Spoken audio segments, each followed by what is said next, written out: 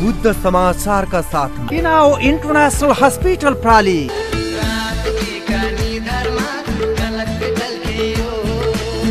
Lumbini ready mix concrete प्राली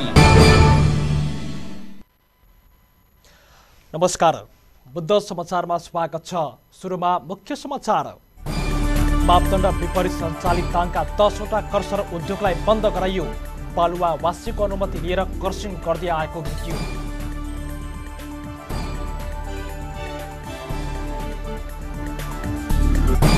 सामूहिक प्रयासले मात्रै भ्रष्टाचार नियन्त्रण हुने लुम्बिनी प्रदेशका सभामुख पूर्णबहादुर घरती मगरको भनाई। भ्रष्टाचारमा संलग्न भई जो कोही पनि सुझाएको भागीदार हुनुपर्नेमा जोड।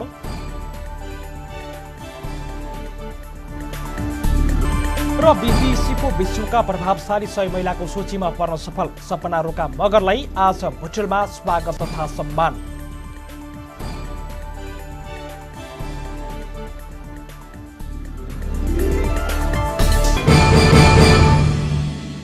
अब समाचार विस्तारमा। मापदण्ड विपरीत सञ्चालित दाङका दसवटा क्रसर उद्योग बन्द गरिएको छ। तुलसीपुर क्षेत्रमा सञ्चालन हुँदै आएको गणेश बालुवा वासिङ उद्योग र केएनएस बालुवा प्रशोधन वासिङ उद्योग स्वर्गद्वारी स्क्रिन प्लान्ट प्राली जनविश्वास बालुवा वासिङ उद्योग मङ्गलम बालुवा प्रशोधन उद्योग स्थानीय प्रशासनले बन्द गराएको हो। त्यस्तै लमाई क्षेत्रको पाण्डेश्वर बालुवा वासिङ उद्योग बाग बाबा बालुवा प्रशोधन उद्योग सतबरिया क्षेत्रमा रहेको जय बागेश्वरी बालुवा प्रशोधन उद्योग गढवामा रहेको दाङ एग्रिगेट बालुवा वासिङ उद्योग र पुडागिरी एग्रिगेट बालुवा वासिङ उद्योग बन्द गरेको दाङका प्रमुख जिल्ला अधिकारी जयनारायण आचार्यले जानकारी दिनुभयो। बालुवा वासिङको अनुमति लिएर कर्सिङ गर्दै आएका दसवटा कर्सर उद्योगहरूले मङ्गलबारदेखि बन्द गराइएको प्रमुख जिल्ला अधिकारी आचार्यले बुद्ध टेलिभिजनलाई जानकारी दिनुभएको छ। अब उनीहरूलाई कर्सिङको काम गर्न नपाउने प्रमुख जिल्ला अधिकारी आचार्यले बताउनु भएको छ। तर उहाँले अनुमति लिए अनुसार उनीहरूले बालुवा वासिङको काम भने गर्न पाउने जानकारी दिनुभएको छ। बालुवा वासिङको अनुमति लिएर कर्सिङको काम गर्दै आएका थिए। उद्योग सञ्चालकहरूले तोकिएको समय सीमाभित्र आफै मेसिनरी सामानहरू व्यवस्थापन गरी कर्सिङको काम बन्द गरेको प्रमुख जिल्ला अधिकारी आचार्यले बताउनु भएको छ। जिल्लामा हालसम्ममा रहेका कुल छब्बिसवटा मध्येमा दसवटाले मापदण्ड विपरीत कर्सिङको काम गरेको हुँदा बन्द गर्नु परेको प्रमुख जिल्ला अधिकारी आचार्यले बताउनु भएको छ।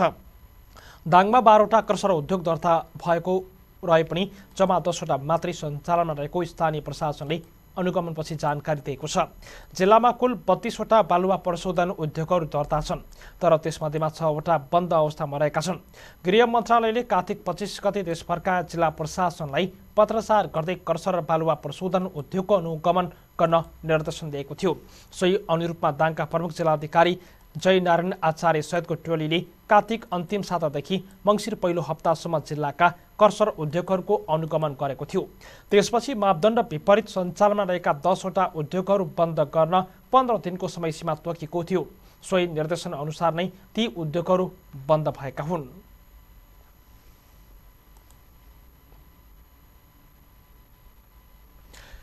लुम्बिनी प्रदेशका सभामुख पूर्णबहादुर घरती मगरले सामूहिक प्रयासले मात्रै भ्रष्टाचार नियन्त्रण हुने बताउनु भएको छ। कसैलाई दोष दिएर मात्रै भ्रष्टाचार नियन्त्रण नहुने भन्दै उहाँले सबैले आफ्नो ठाउँबाट प्रयास गर्नुपर्नेमा जोड दिनुभएको छ। भ्रष्टाचार विरुद्धको अन्तर्राष्ट्रिय दिवसको अवसरमा ट्रान्सपरेन्सी इन्टरनेसनल नेपाल आबद्ध पारदर्शी सरकारसम्म भुटोलद्वारा बुधबार भुटोलमा आयोजित अन्तर्क्रिया कार्यक्रममा बोल्दै सभामुख घरतीले मुलुकमा भ्रष्टाचार रहेको कुरा लुकाएर नलुक्ने भन्दै विगतदेखि मौलाउँदै आएको भ्रष्टाचार पद्धतिको रूपमा विकास नहोस् भन्ने कुरामा सबै सचेत हुनुपर्ने आवश्यकता औल्याउनु भएको छ। भ्रष्टाचार सामू सामाजिक अपराध भएको भन्दै सभामुख घरतीले भ्रष्टाचारमा संलग्न भए जो कोही पनि सजायको भागीदार हुनुपर्ने बताउनु भएको छ। बेलाची सभामुखको रूपमा आफूलाई चित्रित गर्ने प्रयास गरिएको भन्दै सभामुख घरतीले एउटा गाडी बिग्रिएर अर्को गाडी किनेकै भरमा आफूलाई गाडी मोहको आरोप लगाउनु पूर्वाग्रह बाहेकै नभएको समेत दावी गर्नुभएको छ। भ्रष्टाचार विरुद्धको राजनीतिक अभियान अथवा विशेष चाहिँ अभियानमा म आफ्नो ठाउँबाट भ्रष्टाचार गर्न दिने छैन हुन दिने छैन। र आज तपाईँ हामी सबैले यहाँ छातीमा हात राखेर यदि कसैले भन्छौँ भने हामीले कुनै दिन भ्रष्टाचार गरेका छौँ कि छैनौँ? अथवा भ्रष्टाचार गर्नको लागि प्रेरित गरी प्रेरित गरेका छौँ कि छैनौँ भन्ने विषयको सन्दर्भमा यदि समीक्षा गऱ्यौँ भने म तपाईँले घटना त भन्दैन। घुस लिनु मात्र चाहिँ भ्रष्टाचार होइन कि? घुस दिनु पनि भ्रष्टाचार। कार्यक्रममा प्रदेशसभामा प्रमुख विपक्षी दलका सचेतक निर्मला छेत्री नेकपा प्रदेशसभाका संसदीय बोर्डका सचिव भोज प्रसाद श्रेष्ठ उच्च अदालत सरकारी वकिल कार्यालय भुटोलका सहन्यायाधिवक्ता मोहन सागर बस्याल उच्च अदालत तुलसीपुर भुटोल इजलासका बार एसोसिएसनका अध्यक्ष जोगबहादुर खत्री नेपाली कङ्ग्रेस भुटोल उपमहानगरपालिकाका समितिका सचिव ज्योति भण्डारी लेखक ऋषि आजाद घर बहाल सरकार महासङ्घ नेपालका निवर्तमान अध्यक्ष शङ्कर कोइराला लगायतले कार्यक्रममा बोल्नु भएको थियो।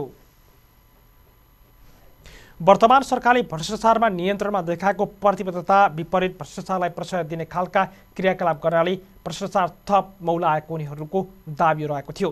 पारदर्शी सरकारसम्म भुटोलका अध्यक्ष महेन्द्र पाण्डेको सभापतित्वमा सम्पन्न अन्तर्क्रिया कार्यक्रममा समूहका महासचिव दीपक ढकालले ट्रान्सपरेन्सी इन्टरनेसनलको काम कारबाहीको तरिका र भ्रष्टाचारमा नेपालको अवस्थाको बारेमा अवधारणा पत्र प्रस्तुत गर्नुभएको थियो भने उपाध्यक्ष लालहरि पाण्डेले कार्यक्रमको उद्देश्य र औचित्य बारेमा प्रकाश पार्नु भएको थियो।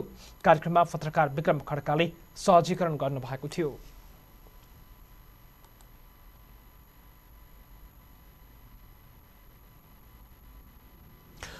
अब पालो जनबोलीको। आजको जनबोलीमा हामीले भ्रष्टाचार न्यूनीकरण गर्नको लागि के गर्नु पर्ला भनेर सरकारवालाहरूलाई सोधेका छौँ। हेरौँ उनीहरूको भनाइ जस्ताको त्यस्तै। चेक एन्ड ब्यालेन्सको आधारमा सम्पूर्ण संवैधानिक जुन निकायहरू छन् चेक एन्ड ब्यालेन्सको निम्ति तयार गरिएका ती निकायहरूलाई स्वायत्त बनाउनुपर्छ। तिनीहरूलाई योग्य र सक्षम चाहिने व्यक्ति चाहिँ चुनिएर जानुपर्छ र एकले अर्कालाई भ्रष्टाचार हुन नदिने चेक गर्ने अनुगमन गर्ने नियन्त्रण गर्ने निगरानी गर्ने निर्देशन दिने खालको चाहिँ वातावरण हुनुपर्छ। सर्वोच्च अदालतदेखि लिएर अख्तियार दुरुपयोग अनुसन्धान आयोग पारदर्शी चाहिँ लगायत सुशासनका विषयहरूमा गरिने जतिपय चाहिँ सङ्घ संस्था छन् ती सङ्घ संस्थाहरूलाई चाहिँ स्वतन्त्र स्वायत्त बनाउनुपर्छ। त्यो भयो भने हाम्रो परिवर्तन हुन्छ। सबैभन्दा पहिला त व्यक्तिले आफ्नो आचरणबाट सुरु गर्नुपर्छ। मैले चाहिँ भ्रष्टाचार गर्दिनँ अथवा चाहिँ मैले अनियमितता गर्दिनँ भनेर। त्यस पछाडि चाहिँ नीतिगत रूपमा भ्रष्टाचार हुने क्रम चाहिँ हाम्रो समाजमा बढी छ जो नेतृत्व तहमा छ जसले नीति निर्माण गर्छ जसले चाहिँ बजेट बनाउँछ र कार्यान्वयनमा लैजान्छ। ती व्यक्तिहरूलाई चाहिँ यो राज्यको रकम राज्यको स्रोत साधनलाई चाहिँ दुरुपयोग हुन दिन्न भन्ने प्रतिबद्धता गराउनुपर्छ जस्तो लाग्छ। सबै तहका सरकार सबै राजनीतिक कर्मीहरू अ, सदाचार र सुशासनप्रति रही। आफ्नो व्यक्तिगत आचरण र जीवनशैली समेत सामाजिक रूपमा सम्परीक्षण सम्परीक्षण हुँदाखेरि फरक नपर्ने गरी अप्नाउनु भने हामीले साँच्चै समृद्ध नेपाल सुखी नेपाली भन्ने सरकारको नारा छ। हामी सबै नेपालीको चाहना छ। त्यसलाई पुरा गर्न सक्छौँ। होइन भने खालि देखाउने कुरा मात्रै नभन्नुहोस्। अ, भन्ने राख्न चाहन्छु। भ्रष्टाचारलाई जिर के जिरो नै पार्न त सकिनँ तर त्यसलाई न्यूनीकरण गर्नको निम्ति कडाभन्दा कडा कानुन भनेको नेपाल सरकारबाट नै आउनुपर्ने हुन्छ। किनकि यो भ्रष्टाचार भनेको पैसैको भ्रष्टाचार मात्र होइनन् नैतिक भ्रष्टाचार हुन्छ। का कार्यको कार्य काम गर्दाखेरि कामको राम्रो तरिकाले नगर्नु भनेको त्यो पनि एउटा भ्रष्टाचार हो समयको भ्रष्टाचार हो विभिन्न किसिमको भ्रष्टाचारहरू आउँछ। त्यसलाई एउटा न्यूनीकरण गर्नको निम्ति माथिल्लो तहबाट एउटा जुन निकाय जुन पोलिसी छ त्यसलाई असल एउटा राम्रो तरिकाले त्यो मनन गरेर कार्यान्वयनमा ल्याउनु नै भनेको भ्रष्टाचारको न्यूनीकरण गर्नु हो।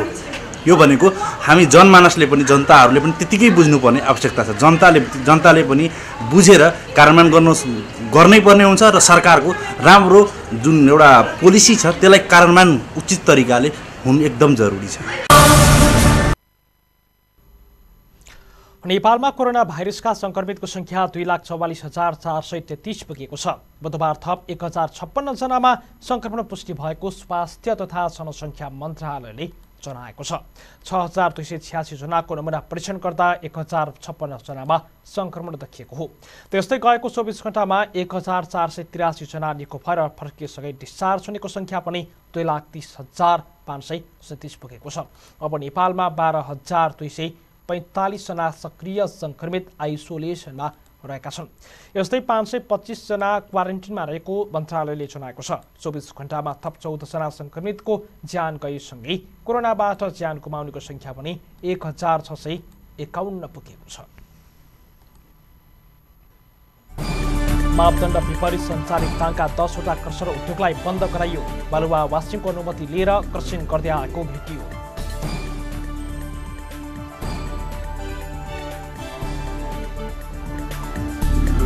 साविक प्रयासले मात्रै भ्रष्टाचार नियन्त्रण हुने लुम्बिनी प्रदेशका सभामुख बडबहादुर घरती मगरको भनाई।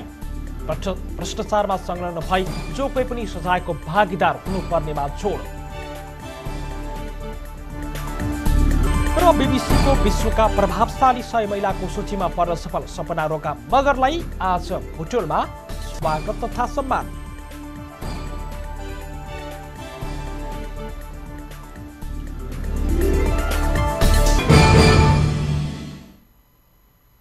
अब बाँकी समाचार विस्तारमा।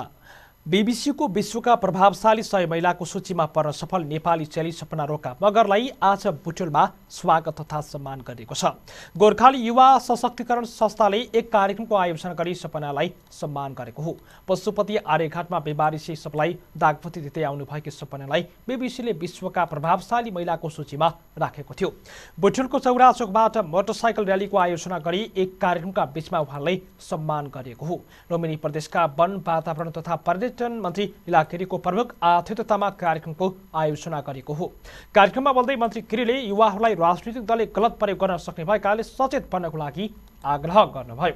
त्यसमा युवा पङ्क्तिको नेतृत्वको आवश्यकता रहेको उहाँले बताउँदै युवाहरू सामाजिक कामसँगै राजनीतिकमा पनि चासो राख्नुपर्नेमा जोड दिनुभएको छ। बिबिसीले आफूहरूको आँखा खोलिदिएको भन्दै उहाँले सपनाले विश्वमा नेपालको नाम चिनाउन सफल भएकोमा प्रशंसा समेत गर्नुभयो। सपना सबैको लागि सकारात्मक प्रेरणाको स्रोत बनेको उहाँको दावी छ। युवाहरूको भूमिका भनेको निष्पक्ष काम गर्ने सामाजिक काम गर्ने सामाजिक भलाइका काम गर्ने र त्यही बिचमा स्थापित हुने र माथि उठ्ने।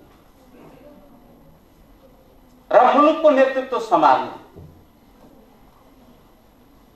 आज जे भइरहेको छ त्यो भइरहँदाखेरि बेठिक के छ। भनेर त्यसको मूल्याङ्कन गर्ने ठिक गर्नलाई तयार हुने ठिक काम गर्नलाई जिम्मेवारी लिने। विकृतिलाई हटाउन जिम्मेवारी लिने। र अगाडि बढ्ने कुराले मात्रै समाजको विकास हुन्छ युवाहरूको काँधमा ठुलो जिम्मेवारी आएको छ। युवा भविष्यका कर्णधार भनेर हामीले भाषण त गर्छौँ कतिपय ठाउँमा व्यवहारिक हिसाबले त्यो कार्यक्रममा बोल्दै सम्मानित रूप सपना रोका मगरले युवाहरूलाई समाजसेवामा लाग्नको लागि आग्रह गर्नुभयो। जीवनमा हरेक मानिसको विगत हुन्छ दुःख सुख हुन्छ तर लडेर पनि उठेकै कारणले यहाँसम्म आउन सकेको सपनाको भनाइ छ। हिजोको दिनमा एकदमै धेरै आफ्नो इज्जतलाई जोगाएर राख्नको लागि सडकमा रहेको आज हिजो बिहान हिँड्ने बेलामा मैले धेरैजना मेरो त्यो साथीहरूलाई पनि देखेँ जसले साथीहरूलाई मलाई एउटा सडकको मान्छे भनेर एउटा हुन्छ नि बजारियापना दिनुभएको थियो कि एकदमै धेरै खुसी लाग्यो उहाँहरूसँग जीवनमा कहिले पनि भेट हुँदैन भन्ने मान्छेहरूसँग त्यसरी भेटेर दोहोरो प्रतिक्रिया गर्न पाउँदा एकदमै धेरै खुसी लाग्यो। हाम्रो सरहरू हुनुहुन्छ प्रहरी सरहरू उहाँप्रति त म सधैँ उच्च सम्मान नै छु। एक किसिमको त्यो प्रहरी मेरो साथी भन्ने भनाइलाई साँच्चीकै उहाँहरूले मनन गरेको छ र मैले पनि मनन गरेको छु। अध्यक्ष भरत परेको अध्यक्षतामा भएको कार्यक्रममा समाजसेवी नरिश्वर पौडेल अभियन्ता र मुक्तिराज पौडेल हरि छेत्री समुद्र जोशी भरचङ छेत्री केशव खनाल अर्जुन खरेल लगायतले बोल्नु भएको थियो।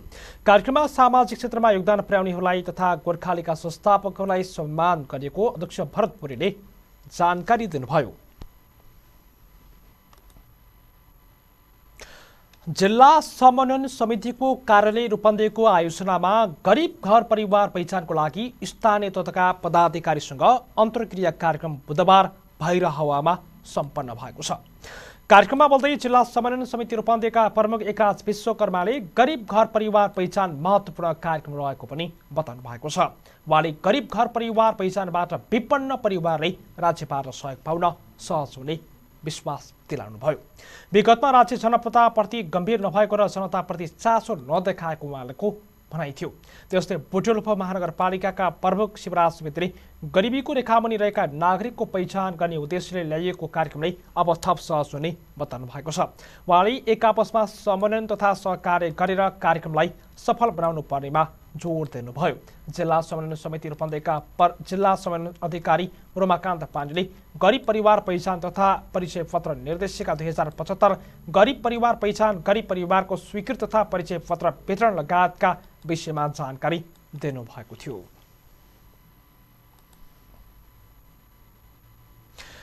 अलग भएको बाइस महिनापछि साझा पार्टी र विवेकशील नेपाली दलबीचमा एकता भएको छ।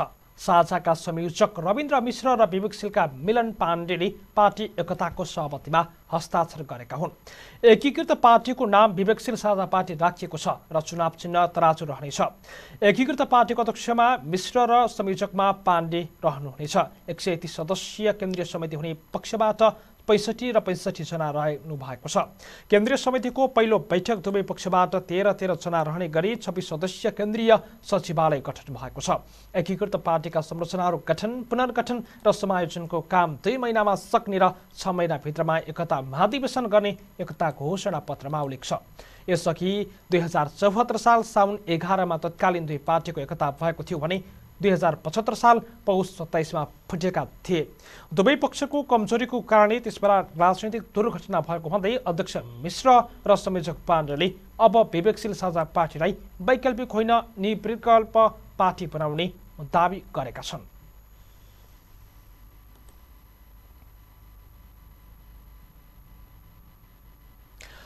नापी कार्यालय रूपन्देली भुटुल्प महानगरपालिकामा जग्गा धनी प्रमाणपत्र लालप्रसाद वितरण गरेको छ। उपमहानगरपालिकाको वडा नम्बर चौधमा गाउँ पलक जग्गाको आज लालप्रसाद वितरण गरेको हो।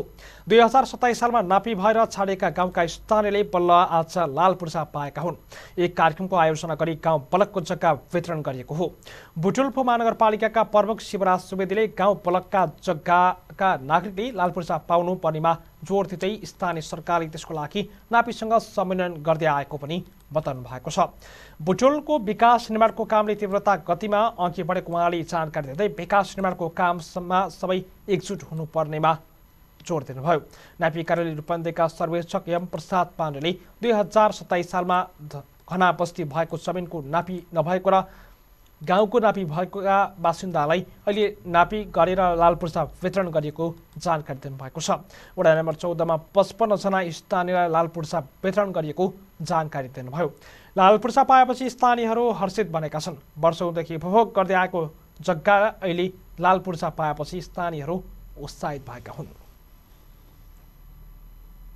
संयुक्त भूतपूर्व सैनिक एवं प्रहरी कल्याणकारी महासङ्घ नेपालले सरकारले आफूलाई सामाजिक सुरक्षा भत्ताबाट वञ्चित गराएर केही समय अनागरिकलाई जस्तो व्यवहार गरेको भन्दै गुनासो गरेका छन्। उनीहरूले नेपाललाई विश्वसाब चिनाउने काम सगरमाथा गौतम बुद्ध र वीर गोर्खाली नै गरेको भन्दै सरकारले आफूहरूको केही समय अवमूल्यन गरेको आरोप लगाएका छन्। सरकारद्वारा हतार परिपक्व र सुनियोजित तरिकाले भारतीय र ब्रिटिस सेनाबाट अवकाश भूभू सैनिकलाई लक्षित गरी दुई हजार सतहत्तर साल असार सत्र गते मन्त्रीमण्डलको निर्णयले सामाजिक सुरक्षा भत्ताबाट वञ्चित गराई अनागरिक र विदेशी नागरिक सर गणना गर्नेको चेष्टा गरेको सहअध्यक्ष क्याप्टेन किसन बहादुर थापाले बताउनु भएको छ। महासङ्घले बुधबार भुटेलमा पत्रकार सम्मेलन गरेर आफूहरूको आन्दोलन चर्काएपछि सरकारले अहिले निर्णय सच्याएकोमा उहाँले धन्यवाद समेत दिनुभयो। वीर गोर्खा भन्ने शब्द भोलिका दिनमा के हुने हो भन्ने चिन्ताले सताइरहेको हुँदा महासङ्घ लगातार हक अधिकार र पहिचारको लागि सङ्घर्षमा रहेको महासचिव सुबेदार कुलबहादुर केसीले बताउनु भएको छ। नेपालमा बसोबास गर्ने भारतीय ब्रिटिस र नेपाली सेना पुलिस र अन्य सुरक्षा निकायबाट अवकाश प्राप्त भूभू सैनिकले कमाएको इमान्दारी र बहादुरीको कारणले नेपालको शिक्षा तथा बहादुर चम्किएको उनीहरूको दावी रहेको छ।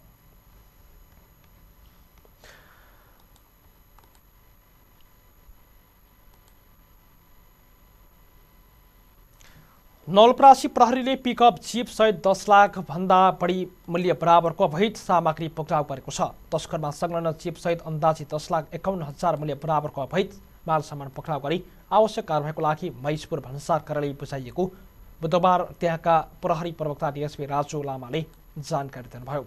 उहाँका अनुसार भारतबाट भन्सार छली गरी तिन लाख तेह्र हजार दुई सय मूल्य बराबरको दुई बोरामा राखिएको पाँच सय बाइस थान छालाको पेटी बरामद गरेको हो।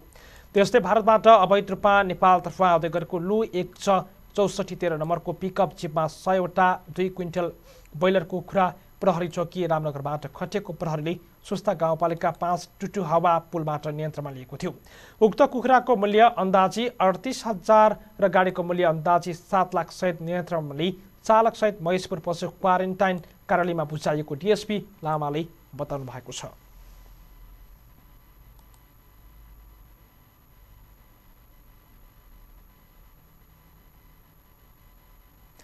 लुम्बिनी प्रदेशसभाका सदस्य रामजी प्रसाद घिमिरेले भ्रष्टाचारमा शून्य सहनशीलता बढेको जिकिर गर्नुभएको छ। अन्तर्राष्ट्रिय भ्रष्टाचार विरुद्धको दिवसको अवसरमा गैर सरकारी संस्था महासङ्घ अर्घखाँचेको आयोजना तथा सुशासन प्रवर्धनका लागि जिल्ला स्तरीय नागरिक सञ्जालको समन्वयमा भएको कार्यक्रममा बोल्दै घिमिरेले अनियमितताका उजुरी बढ्नु भ्रष्टाचार बढ्नुको यथेष्ट प्रमाण नभएको भन्दै ओजिडी बढ्नु सरकारले ल्याएको भ्रष्टाचार विरुद्धको शून्य सहनशीलता नीतिको उपज भएको बताउनु भएको छ।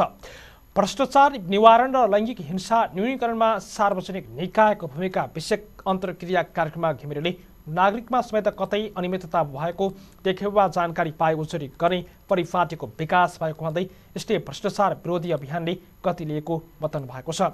उहाँले लैङ्गिक हिंसा भ्रष्टाचार सामाजिक विकृति विसङ्गति अन्त्य गर्न पहिला आफ्नो व्यवहारमा परिवर्तन ल्याउनु पर्नेमा जोड दिनु भएको छ।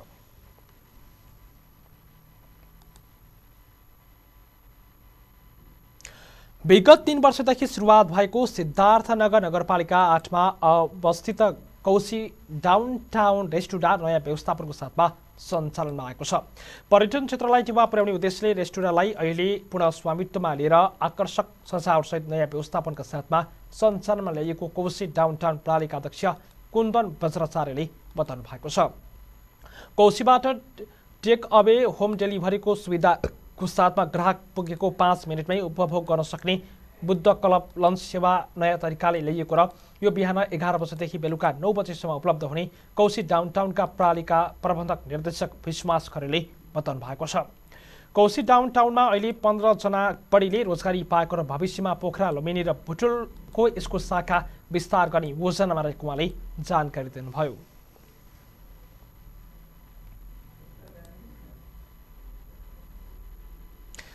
बुद्ध समाचारको अन्त्यमा मुख्य समाचार। मापदण्ड विपरीत सञ्चालित दाङका दसवटा कर्सर उद्योगलाई बन्द गराइयो। बालुवा वासिङको अनुमति लिएर क्रसिङ गर्दै आएको भेटियो।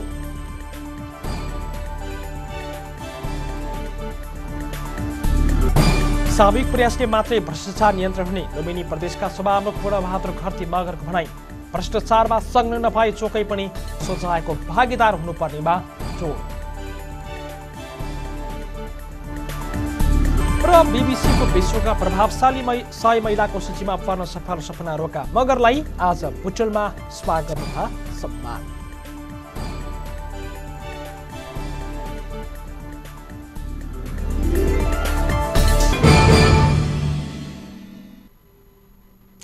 हस्त बुद्ध समाचार सकियो समाचार युनिट कामिस बेला आज्ञा दिनुहोस्। नमस्ते।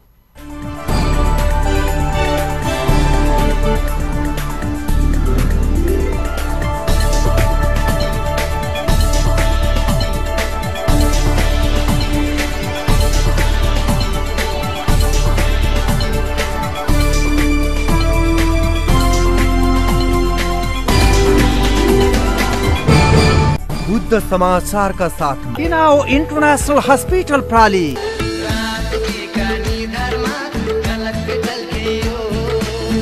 Lumbini ready mix concrete प्राली